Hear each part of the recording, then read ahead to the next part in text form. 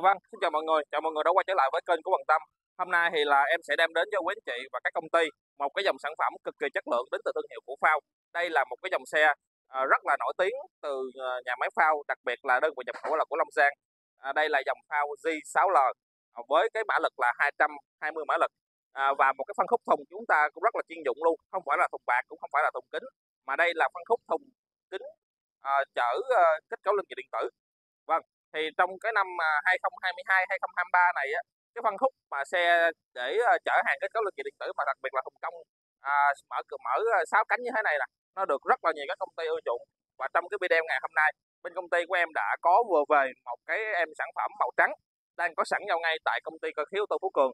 Thì em sẽ làm một cái video để giới thiệu tổng thể à, sơ bộ từ trong cabin ra tới ngoài nội thất và động cơ cũng như là cái phần thùng à, chở kết cấu linh chở kết cấu chở kết cấu linh kiện điện tử phía sau ờ, và trong cái phần ờ, thùng đó thì nó sẽ có những cái đường con lăn này kia. Nó đúng và hợp với cái quy cách của thùng kết cấu linh kiện điện tử luôn. Cho nên là à, anh em nào mà đang quan tâm về cái dòng xe này có thể à, xem hết video này để có thể hiểu rõ hiểu rõ hơn về cái tính chất cũng như là cái đặc tính của con xe à, thùng kết cấu linh kiện điện tử trên cái nền xe Fao G6L à, phân khúc là 220 mã lực này ha. Và đặc biệt là trong cái video này em sẽ báo giá chi tiết về cái giá công bố của bên nhà máy phao đối với cái dòng xe này và cái chi tiết luôn cái uh, cái cái cái phí lăn bánh tại Sài Gòn. Tại vì cái dòng này bên công ty em bán rất là nhiều cho công ty uh, tại ờ, khu vực mà đường quốc lộ 1 ngay hướng về uh, An Sương mọi người. Là cái khu vực đó là có một có rất là nhiều cái uh, công ty mà kiểu như là cái chủ uh, chủ đầu tư á chủ chủ công ty á là người Trung Quốc.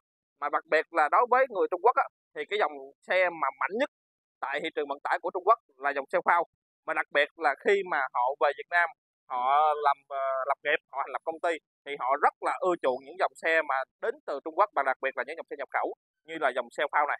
Đó cho nên à, em sẽ làm kỹ và chi tiết hơn để cho những khách hàng nào mà đang có nhu cầu mua xe sẽ nắm rõ hơn về cái con xe này cũng như là cái giá lăn bánh luôn rồi, mọi người cùng nhau chờ xem nha.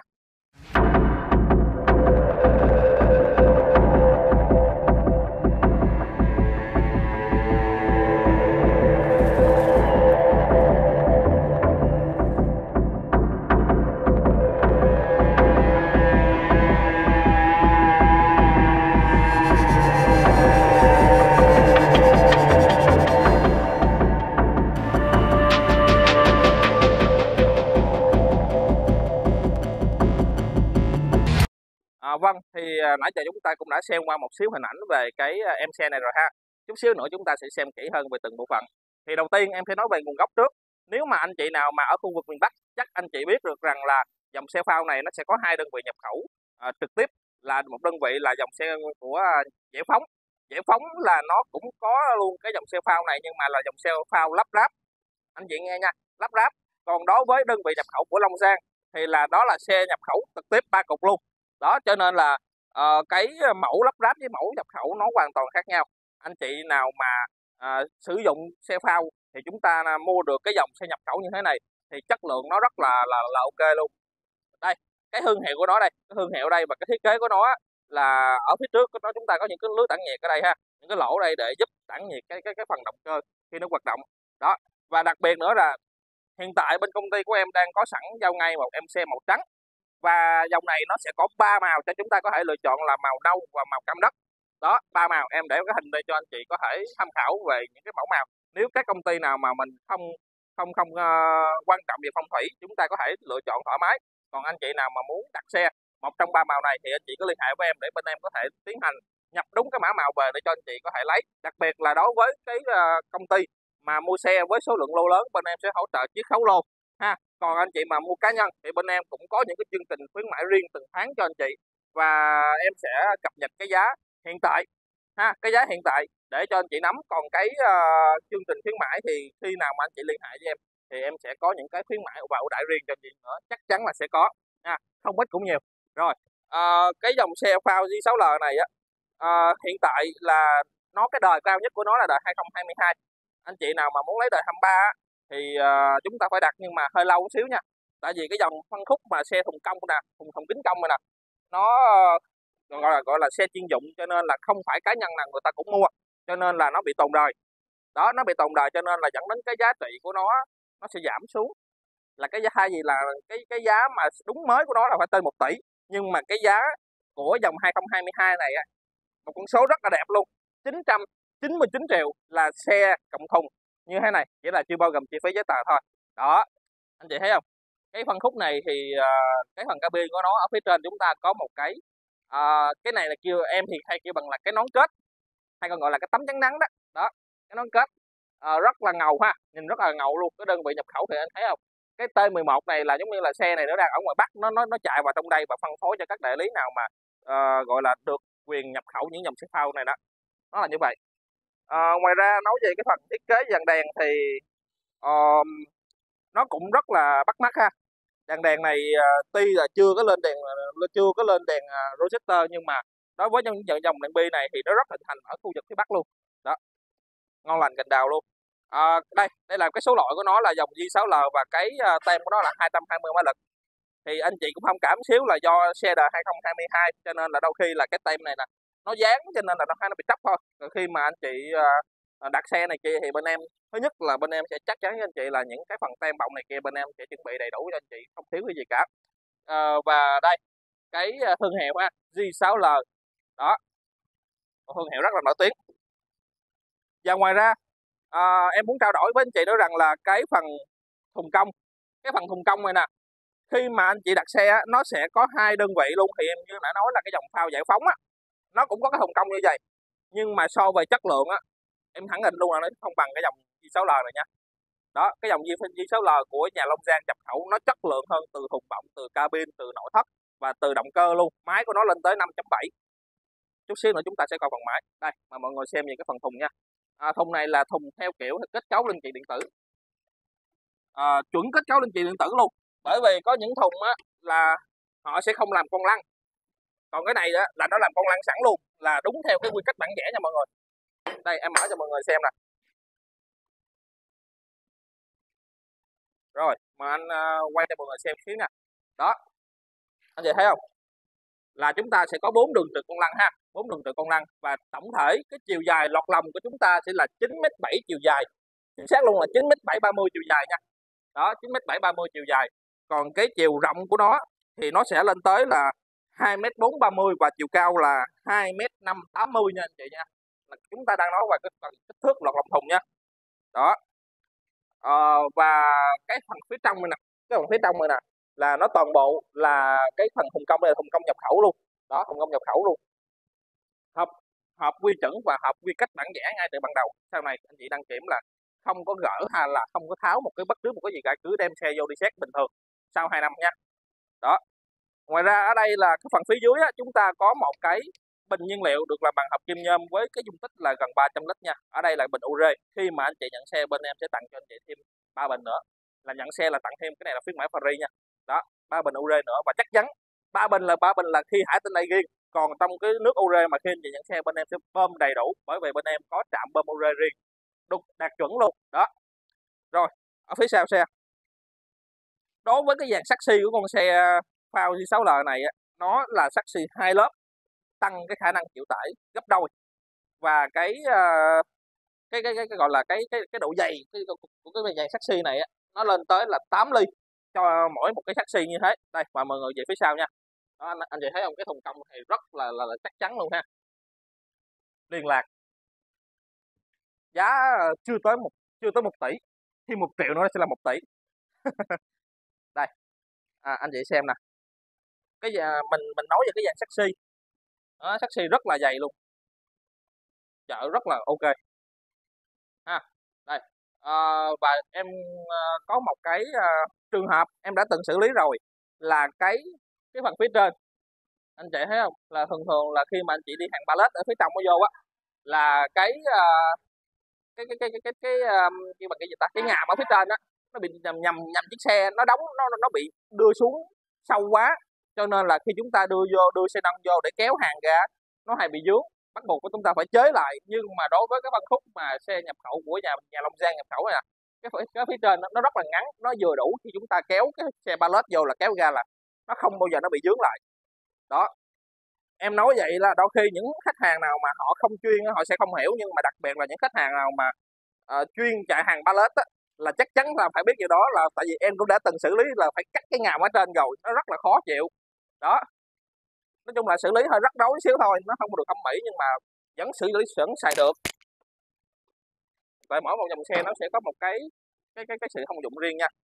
Vỏ con này thực xài giờ vỏ ờ, vỏ 10 nha vỏ 10 mâm 20 vỏ bốt thép nha anh chị nha. Vỏ bốt thép ờ, ờ, và cái phần nhận nhất của chúng ta là phía trước là 10 lá phía sau là 12 lá. Đó cầu thì cầu chịu tải là 12 tấn mà mọi người lên cái phần nội thất xe nha. Nó hơi uh, chặt xíu. Đây em cho lên cho mọi người luôn rồi. Đây. Đầu đạn nó hơi uh, hơi khó xịu xíu nha tại vì ờ, phụ tùng xe này nhiều lắm. Như con đội nè mấy cái đầu nghề theo xe này kia ha. Đó rất là nhiều. À, xe được trang bị cho chúng ta là một cái giường nằm ở phía sau à, bọc nỉ. Và cái ghế ngồi chúng ta là được uh, trang bị là ba cái ghế ngồi ha. Nếu mà anh chị là cái là cái ghế dựa xuống á, thì chúng ta thành cái chỗ để đựng cốc nước này kia. Đó. Ghế này thì à, nó mai theo kiểu là ghế nỉ nhưng mà nhìn xa xa nếu mà anh chị nào thích nữa thì chúng ta nó làm theo kiểu ghế da vậy đó nhưng mà là ghế nỉ nha. Anh chị thích thì bên em sẽ tặng anh chị khuyên full combo bọc ghế và bọc giường luôn. Đó. Hộp số của chúng ta sử dụng là hộp số là 8 số tiếng của vậy ừ 8 số tiếng và hai số lùi ha. Đó. Không? Ngon lành cành đào ha. Đây là vô lăng xe. Vô lăng thì uh, xe của mình đó là rất là nổi bật. Ở phần cái vô lăng ở giữa là cái phần uh, logo của phao đó logo phao. Đây là mặt đồng hồ xe mà mọi người tham khảo. Không? À, đây là phần phía trong ha. Hai bên cửa thì chủ yếu là nâng nâng kính thôi. À, và cái gọng gương của chúng ta là gọng gương cơ nha anh chị nha gọng gương cơ. À, mặt tóc lô xe đây mà anh chị xem qua thì chúng ta có trang bị là đầu radio. Nó hơi bị chán xíu đầu radio à, cổng USB cũng như là máy lạnh hai chiều có nút bấm AC ở ngoài đây thì cũng có luôn cái à, cái này là cái gì ta? Em nghĩ chắc là máy lạnh thấy em đồ đồ Trung Quốc em không rành nữa. Không cái này không rành thiệt cái này không cái này không biết. Chắc là khe đọc thẻ nhớ hay gì đó. Thôi bỏ qua đi em sẽ kiểm tra sao đó ở đây thì là các như là còi nè à, bên đầu nè ha hệ thống đèn nút bấm nguy hiểm à, với lại à, hệ chỉnh hướng sáng chìa khóa cơ và một cái chìa khóa điện một chìa khóa nước ure và một chìa khóa bình. Đó cơ bản là như vậy nha ở phía trên tầng của chúng ta thì là tầng ở trên đây là nó được giả vân một nỉ giả vân rất là đẹp. À, ở phía trên đây thì chúng ta có thêm mấy cái hộp để đồ nhưng mà à, nó hơi nhỏ một xíu. À, nếu mà anh chị nào để giấy tờ bự bự thì có thể để trên đây được. À, cái này thì à, đèn đếm các thứ thôi không gì cả hai bên. Rồi ok. Đó cho mọi người xem tổng quan về cái phần nội thất phía trong nha. Vâng thì nãy giờ chúng ta cũng đã xem qua một xíu về cái phần nội thất xe cũng như là cái phần uh, cái thùng ờ, kính container chạy kết cấu linh kiện điện tử này rồi ha. À, đối với các công ty nào mà đang muốn lựa chọn một cái em xe à, phân khúc là tải trọng là 6 tấn 8 tổng tải là tầm 15 15 tấn 8 đó thì con này á cái giá lăn bánh của nó cũng rất là im nó hơn một tỷ có một xíu thôi. Thì à, em sẽ công bố giá và cũng như là cái giá từng chi tiết luôn để cho anh chị nắm nè đầu tiên là nói về nói về cái giá xe thùng. Như em đã nói đầu video là 999 triệu. Đó 999 triệu là xe thùng. Như thế giấy tờ của chúng ta thứ nhất là chúng ta sẽ lấy thuế hai phần trăm. Thứ hai nữa là cái à, bảo hiểm thân à, bảo hiểm uh, trách nhiệm nhân sự là 1 triệu 871 ngàn. Có hóa đơn có biên lai. À, cái phí đường bộ là 7 triệu 080 ngàn. Có hóa đơn có biên lai. Toàn bộ là một năm hết ngoài thêm cái nữa là cái uh, chi phí đăng ký đăng kiểm thì thường thường là em sẽ bán rất nhiều ở Sài Gòn cho nên là em sẽ lấy cái phí uh, tiêu chuẩn là ở Sài Gòn là bốn triệu rưỡi. Là bao gồm là chi phí đăng ký xe uh, đăng ký đăng kiểm xe và cũng như là FPK biển số này kia là gói gọn trong đó luôn. Đó à, và khi một cái cuối cùng là làm định vị phù hiệu nếu mà khách hàng nào mà khách hàng công ty nào mà muốn lấy định vị phù hiệu luôn là ra biển vàng thì chúng ta cộng thêm 3 triệu nữa là bao gồm định vị và phù hiệu một năm. Thì là tổng cộng cái chi phí lăn bánh của chúng ta. Nếu mà em tính sơ bộ là nó sẽ ra là 1 tỷ 035 triệu là lăn bánh tổng thể luôn ra biển vàng tại Sài Gòn. Còn anh chị nào lăn bánh lăn bánh điện tỉnh thì có thể à, kết nối qua Zalo với em để em có thể báo cái chi phí đăng ký xe. Nó có thể ờ, xa hơn chứ mà ờ, xa hơn Sài Gòn thì nó sẽ chi phí nó sẽ đậu hơn một hai triệu. Đó chính xác là như vậy. Còn cái số tiền mà anh chị bỏ ra để mua xe qua hình thức trả góp là dưới 300 triệu nha dưới 300 triệu là chúng ta đã có thể sở hữu được ngay cái em này rồi. Nếu mà anh chị vay qua bên chỗ uh, các khách hàng cá nhân thì chúng ta sẽ hỗ trợ vay là 75% qua bên ngân hàng VPBank bao chứng minh thu nhập bao nguồn thu.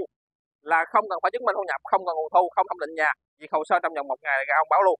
Đó yêu cầu là sẽ không bị nợ xấu là xong. À, còn nếu mà khách hàng công ty ha còn, còn khách hàng công ty thì là vay từ 65 đến 70 phần trăm. Còn nếu mà chúng ta muốn vay qua các đài công ty tài chính á, thì nó sẽ hỗ trợ cho vay của chúng ta là sẽ rơi vào tầm là 75 đến 80 phần trăm tùy theo cái nguồn thu khách hàng. Thì bên chỗ công ty cho thuê tài chính Chile nó sẽ hỗ trợ vay cao hay thấp. Đó mà trung bình là cỡ đó. Nói chung là anh chị cứ cầm dưới 300 triệu lên đây lấy xe về. Còn lại bên ngân hàng anh nó sẽ hỗ trợ hết và em sẽ tư vấn kỹ hơn những cái vấn đề ngân hàng cho anh chị. À, và một cái cuối cùng nữa là đó với dòng xe này thì chúng ta sẽ được bảo hành chính hãng tại công ty có khí ô tô Phú Cường tại chi nhánh Bình Chánh, Tiền Giang, à, quận 12, Bình Dương, Đồng Nai và các tỉnh lân cận nếu mà anh chị nào mà ở trong khu vực Sài Gòn chúng ta đến cái đó để có thể tiến hành bảo dưỡng nha. À, rồi thì cái video của em à, về cái con xe này nó cũng rất là đầy đủ về giá cả và giới thiệu xe rồi. Hy vọng là sẽ được các anh chị đón nhận trong năm 2024 này. À, rồi thì em xin được kết thúc video tại đây nha. Chào mọi người.